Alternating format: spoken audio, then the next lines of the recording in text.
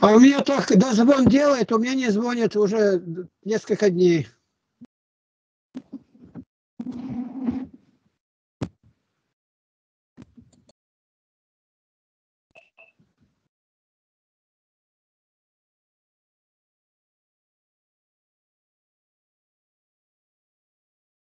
Ну вот. Раньше было как-то пополам. Какой я виден, такой и вы. А сейчас э, и как? Почему так стало? Так, не знаю. И дальше, тогда было вверху, если маленький, я его за уголок мог растянуть, ну, сделать равно таким же, как то, а сейчас никак. А, ну, ну это, давно, это давно было. Уже, уже да, сейчас правильно, правильно. У нас все записывается, выставляется в интернет. Вы не против? Я не против. Так, ну вот, что хотели-то? Нужен я, я еще. задать вопрос, который многих интересует. В принципе, вы неоднократно давали ответы на эти вопросы, но я еще раз задам, потому что потом мы выложим, и люди тоже еще это посмотрят. Как можно выразить более точно а вот но ответ на такой вопрос человеку.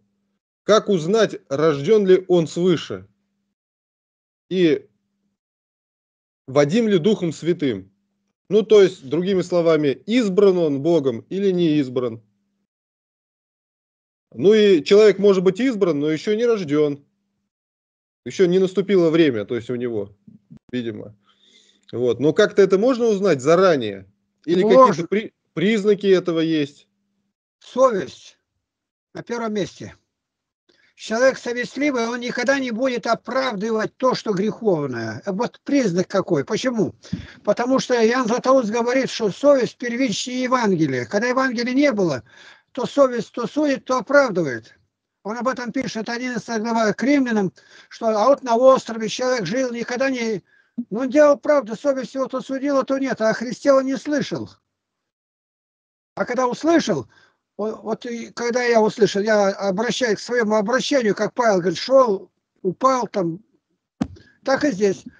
Я себя смотрю, тот, который встал на молитву, мне никто ничего не говорил, книгу подали, они обедают, я за стол не сел с ними, Еремея Михаила Анна. Они обедают, я в другой комнате, Новый Завет открыл, я везде все выискивал.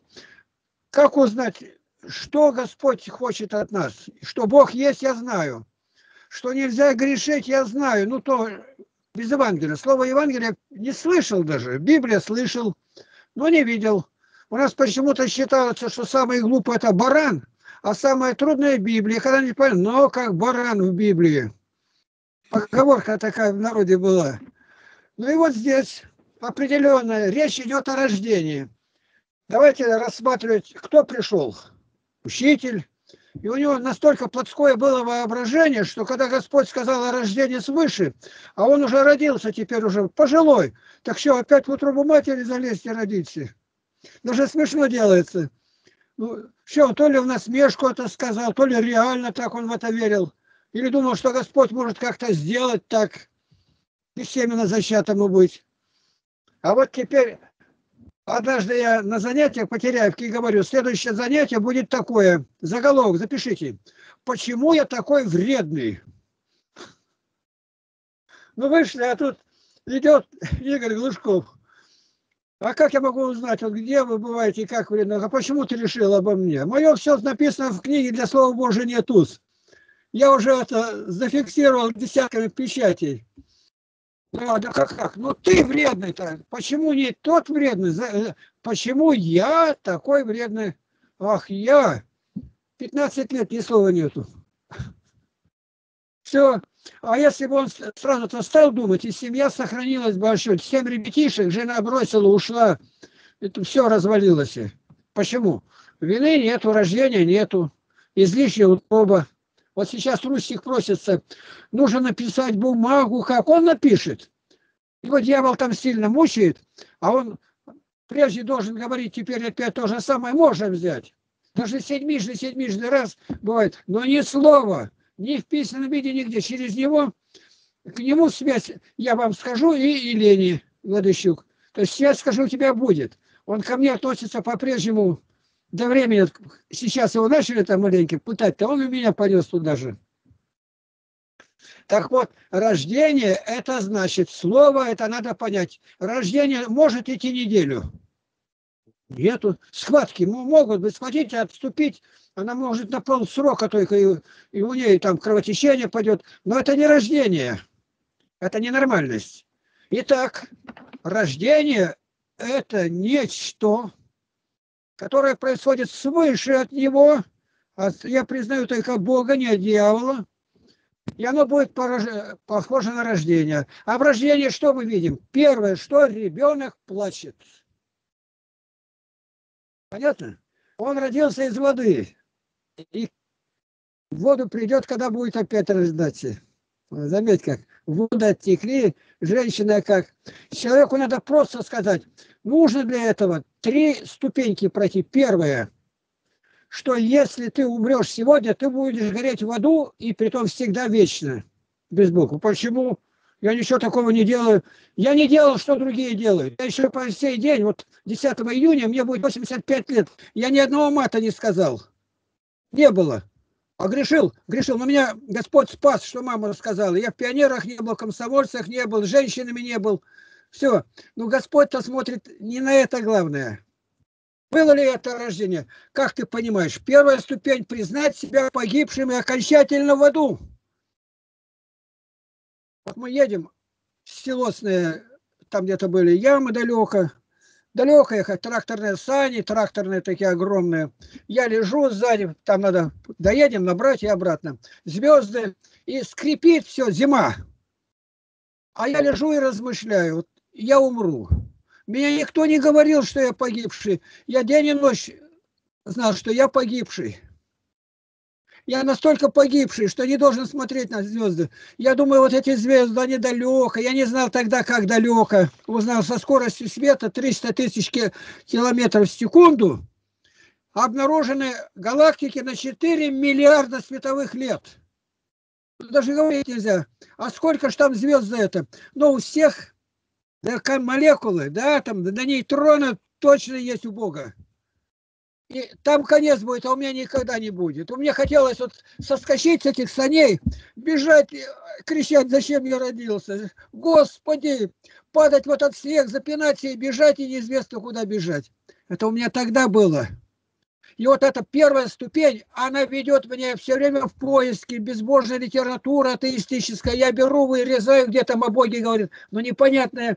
Вот что говорит там кто-то, и две, буквы, две цифры стоят. Ну что за цифры? Я математику очень любил. Не знаю. Ну, глава стих, теперь я знаю. И вот они дали мне Новый Завет, сами ушли. Я начал читать. Авраам родил Исаака. Что за книга? Там мужик мужика разве может родить? Я по-другому-то не понимаю, как Никодим. Вот дальше как началось, что Рождество Иисуса Христа было так, я за карандаш скорее писать. Дальше писать нельзя. Как я найду конец? Я считать надо скорее. Все про Бога. А у меня как будто бы я слышу голос какой, считаю я, глазами считаю. Я в четыре библиотеки в городе был, где бы и ни был, я записываю еще новые книги о Боге. Поиск был. Я погибший, я не пью, я не сквернословлю, выполняю на работу на отлично, учусь отлично. Я грешник и погибший, окончательно погибший. Вот это первое, вот чего нету. Пришел, деньги заплатил, квиток, ты пошел. Куда пошел? Туда же, где был. Такое полное погружение. Ну, был сухой грешник, теперь мокрый, только та разница. Второй пункт. Мне нужно увидеть что грехи мои снимаются с меня, расписка дается, не отвечаешь. Ну как же, когда возмездие за грех смерть? 6.23 к римлянам. Иисус возлюбил нас, когда мы были еще грешниками. Верующий в Сына Божий иметь жизнь вечную. 3.36 Евангелия Иоанна. Да я же ничего этого не знал. И когда они зашли, ну как, спросили, как книга? Я говорю, книжка очень хорошая. Как это не книжка, это Евангелие. Ну как так? А какое желание? Желание одно помолиться. Помолиться сейчас же, сейчас. Господу. И когда стали молиться, знаете, как со мной что было. Вот это обращение. третье, воплотить в дело, сказать, признаю себя, надеюсь на тебя. Все, вот это третий акт, совмещающий земное и небесное. Красный и синий цвет. И потом 20 глава 11 стих Откровения, великий белый престол, от лица которого бежали небо, синяя полоса и земля. Это мне Бог открыл. Я перед тысячами военных выступал. Воинские части там заказывают, меня перевозят выступать в самые большие кинозалы. Ну, в разных военных там организациях, кадеты, где учатся. Я им всем говорю, вы герои настоящие. Но без знания Бога вы просто будете бандитами. Вот как 90-е, это там самые, которые в Афганистане были, они стали руководить этими бандитскими разборками. И вот здесь я узнаю это из Слова Божие 4.12, Деяния апостолов. Нет другого имени под небом. Так есть мусульмане, хорошие буддисты, согласен. Есть фильм «Сбежавший из ада». Он говорит, там много хороших. Никто не спасет. Верующим в Сына Божия иметь жизнь вечную, не верующим в Сына Божия, не просто Исаия или кто-то, не имеет жизни, но гнев Божий пребывает. Не просто гнев Божий. Вот отсюда надо исходить. А теперь избран я или не избран? Если я избран, во мне все перевернулось сразу. Первое, это я сделал крик. В этот же день на корабле все узнали, я стал говорить о Христе. Во мне огонь какой-то горит по сей день. В костях моих разлитый, о чем Иеремия говорит. Узнать очень просто. Довериться Слову Божию. А теперь мы считаем первое послание Иоанна, 3 глава, 9 стих. Хорошо запомните. Два стиха, на которые табу лежит, недозволенное в православии. Они не говорят, ну никак огня боятся. А чем заменили? Грешен, супергрешен, архигрешен, бесконечный грешен. Но не меняется ничего. Как Амбросий здесь был, Юрасов, архимандрит, и говорит, у нас исповедь до утра идет. Я говорю, как? Да не те же грехи. Я говорю, ты как хозяйка хорошая, привезла куриного помета, взболтала ее, она опять осела, на следующий год опять разбалтываешь. Как? Написано, верующий рожденный от Бога не грешит. 1 Иоанна 3.9. 1 Иоанна 3.9. Не грешит. Тут все православные против. А 5.18 прямо говорит, рожденный от Бога, рожденный, рожденный, слушай, не может грешить. Почему? У него все противно. А то я помаленьку умножаю, это пачку курил, сейчас я уже на папиросу меньше. Не так. Нет. Все по-другому. Я другой. Тот, да, любил, но плоть увязана с душой так крепко, Златоуст говорит, что наказывая тело, мы врачуем душу. Меня Бог наказал, я остался на улице. Но я знаю, я нахожусь в тепле у Бога, Он меня за пазухой держит. Узнать можно только через Слово Божие, через полное доверие этому, сознанием того, что Бог мне сказал. Это легко. А как я избран? Люди у православных это ересь. Какой избран? Да ты за кого себя выдаешь? Не я выдаю. Бог меня сделал таким. Сколько у меня было товарищей. Я сразу же написал письма, примерно 32 ребята в армии служили вместе. Ни одного ответа нет. С кем-то там был близок, очень даже обедали вместе. Им написал. Ну, развратным женщинам не писал, я с ними не был. Я женщинам всем благодарен и вдосталь. Вот как Бог показывает.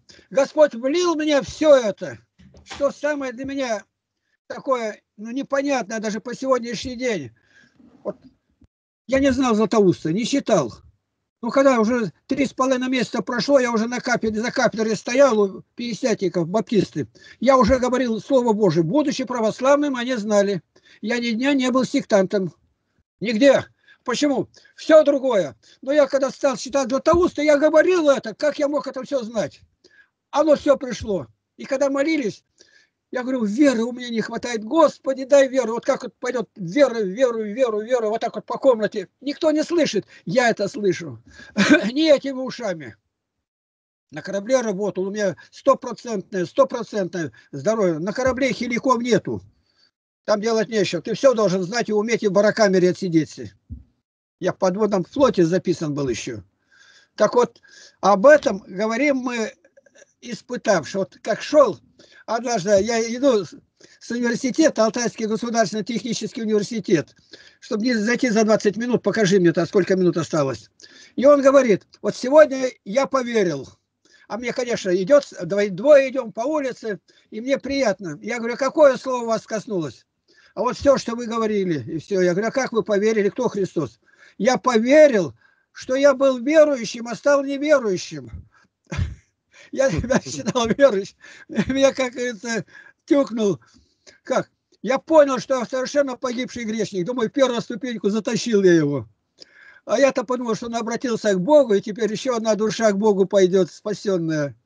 И вот теперь избранные, много званых, это кому свидетельство? Избранные, они входят в, этот, в это русло. В это русло. Сразу он избранный. Меня избрал Бог, теперь мне это не нужно. Я иду туда. Что меня интересовало, любил? Я очень любил иностранные языки изучать. Представь, я никогда не знал, в школе иностранного языка не было, вдруг я заговорил на немецком языке через полгода. И выступаю у них в собрании, потом говорю. Английский за 4 месяца. А я понял, что мне это не надо. Я все связал. 60 лет где-то в подполе лежит. Почему? Мне надо знать Библию. И вдруг дал Бог любовь к Библии. Я не знаю про всех, но с кем встречался, никто так рассказать не может. А сколько времени? Ну, не меньше 10 часов. Почему? Потому что я сокращал, сокращал сокращал дни. И дни эти настолько сократил, что два с половиной часа на сон уходило а работа на физической работе. Тачки с бетоном возить на второй этаж, там, ну, все такое, тяжелое. И Бог это дал. И так, по тем деньгам у меня на, уходило на, на месяц 9 рублей 80 копеек. Но иногда больше, 11 рублей. Кирпич хлеба стоил 16 копеек. Ну, чтобы понять было, как это.